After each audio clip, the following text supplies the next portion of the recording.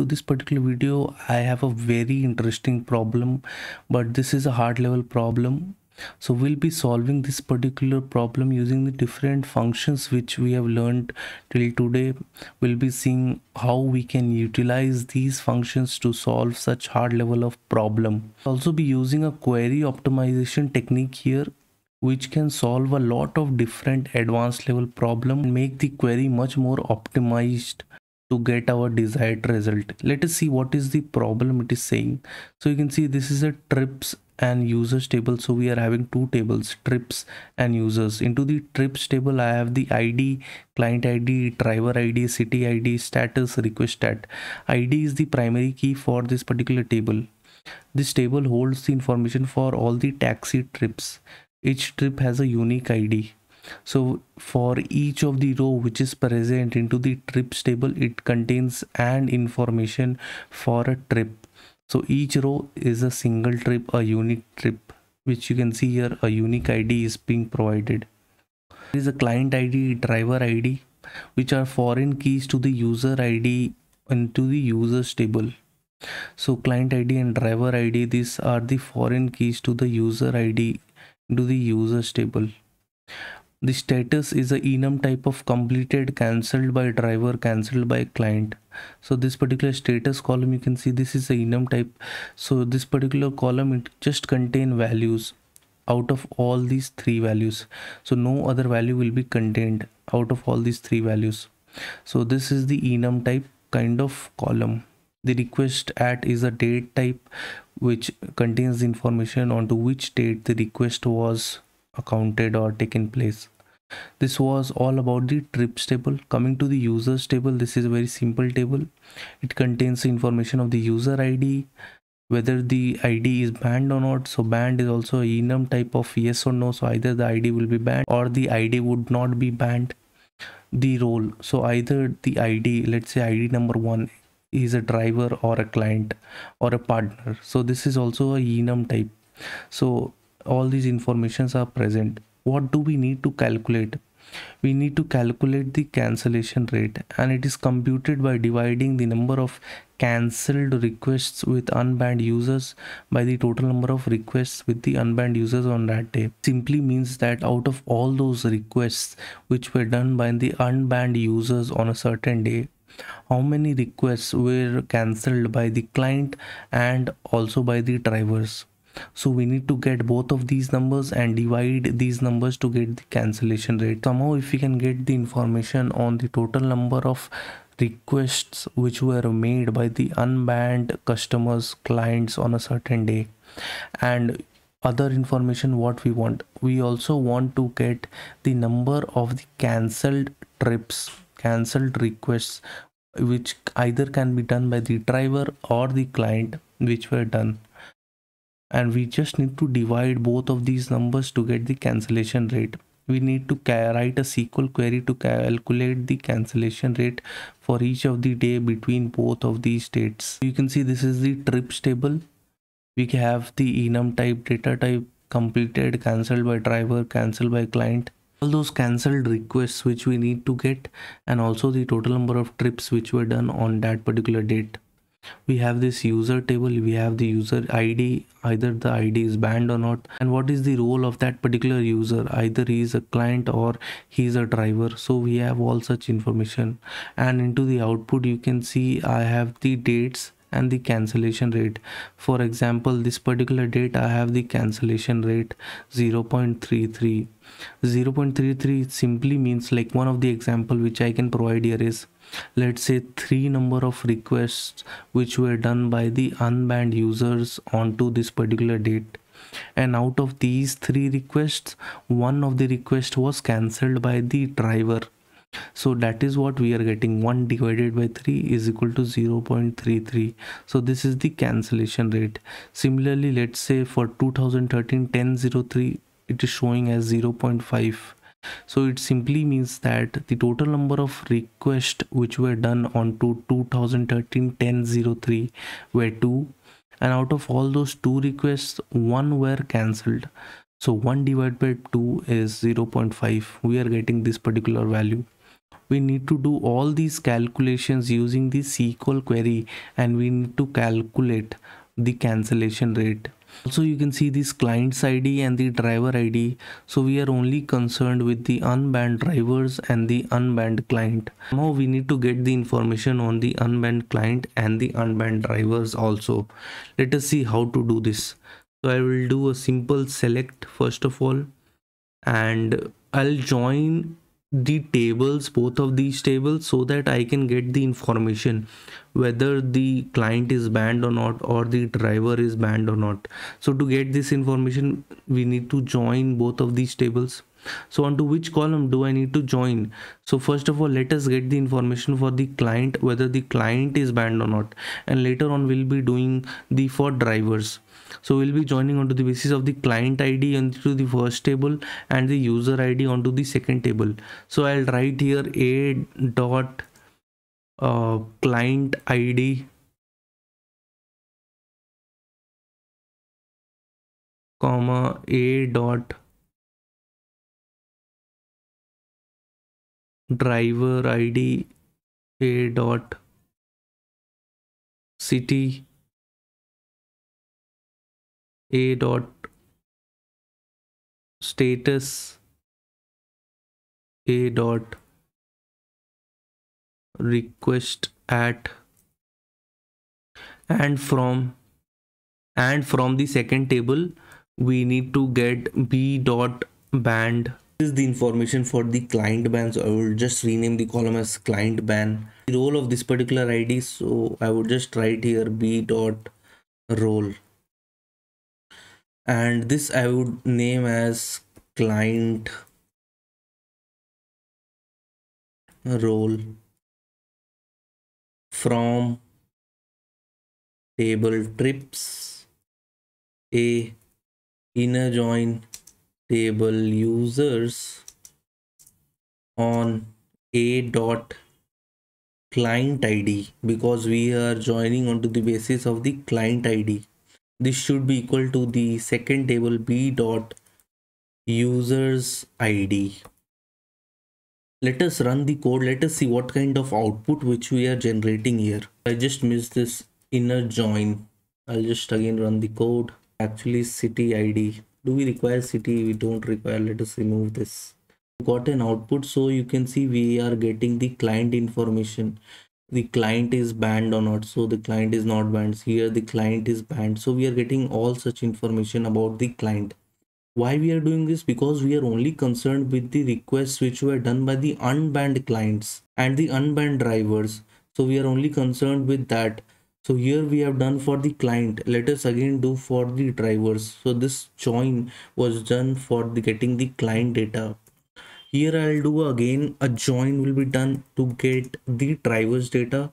So the output which it is generated here I'll be using the same output. So I will do a simple d dot star and I would do here c dot banned. Now this information is for the drivers. So this will be driver ban and similarly c dot role so this will be driver role from D. I'll do a inner join users. C on C dot users ID is equal to D dot driver ID so friends into the second join which we are doing we are getting the information for the driver whether the driver is banned or not. So in that case we are joining onto the basis of the driver id and the user id we'll again run the code got the output and we are getting the information whether the driver is banned or not and the client is banned or not. So somewhere we'll be getting yes somewhere we'll be getting no but we are only concerned with the unbanned drivers and the unbanned clients.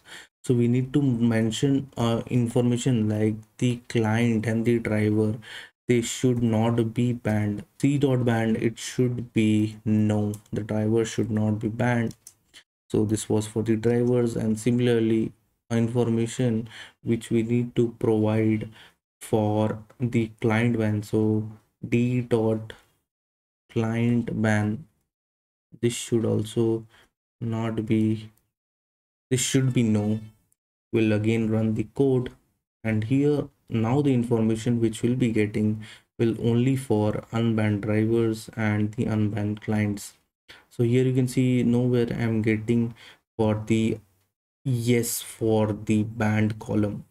So now we have got our desired result. We'll be playing around with this result only because you can see into the cancellation rate we are only concerned with the unbanned users. Somehow we need to get just the data for the unbanned users requests unbanned drivers also. So here we have filtered out the desired data. Now let us understand this problem what it is trying to say. So for example you can see here i have this data. Into the date column i have let's say for 0 1 10 2013 I have three entries. 210 2013 i'm having three entries. And similar kind of data it is being generated right now from our query. For for various dates we are getting the information whether the let's say the status of the trip whether it was completed or cancelled by the drivers so we are getting all such information. Also one information which you can see here is each trip has a unique id so each row which we are generating here into the output is defining a unique trip.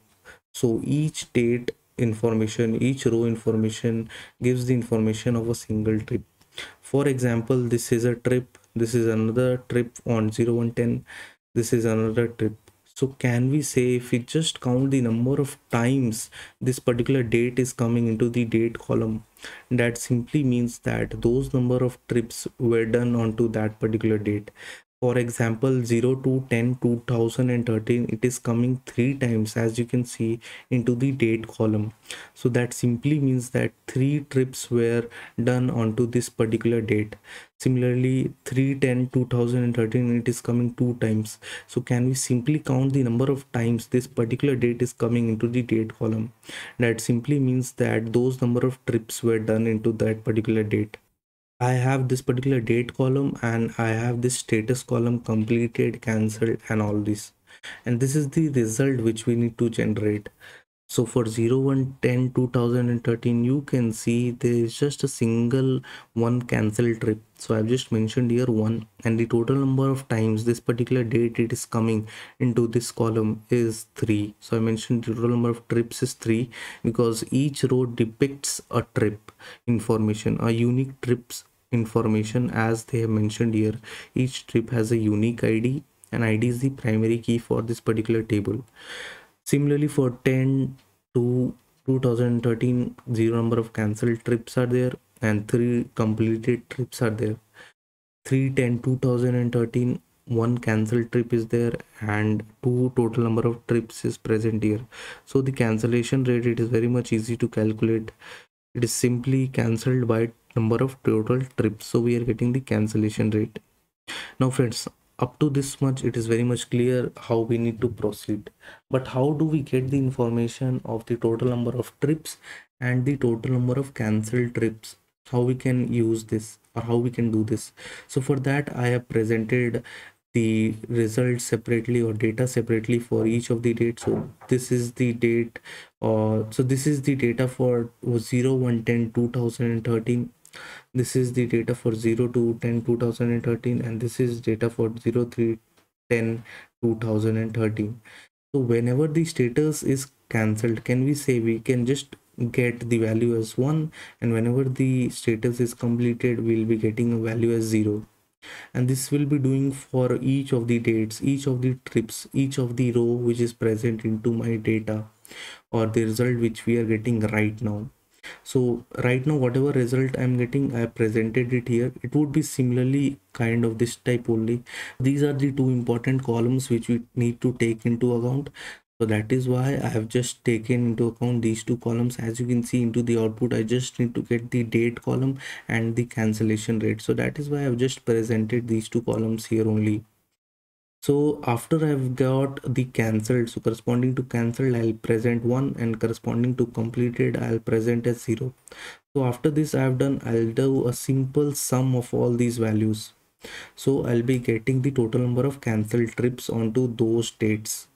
So you can see i'm getting a sum. So total number of cancelled trips onto all those dates i'm getting. And corresponding i'll be getting a value of the total number of trips which were done onto those dates so i'm getting all those values and at the last i'll be dividing both of these numbers to get my desired answer. So 1 divided by 3 is the answer 0.33 so somehow we need to do this into our sql query. Let's see how to do this. So we are only concerned with the date column. So i would provide this into a bracket here. And i would write here select quest at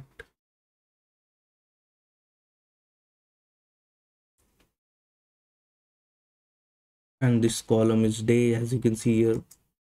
And here i'll see using the case when statement can we write the for cancelled whenever cancelled is coming take the account as one and whenever completed is coming take the count as zero. So we'll be writing a logic for that.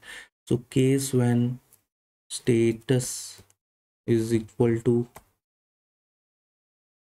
come completed so i'll need to write it exactly how it is mentioned here. So then